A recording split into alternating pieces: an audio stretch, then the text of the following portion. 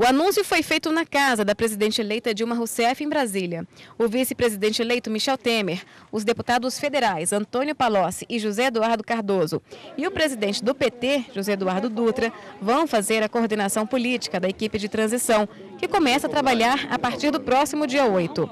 O momento, por enquanto, é de conversa com partidos da base aliada para recolher sugestões. Com relação à equipe técnica, a assessoria de Dilma Rousseff esclarece que já foi encaminhada ao presidente Lula uma lista, inicialmente, com 30 nomes. Nós temos um número de, na, na transição, um número de vagas limitado.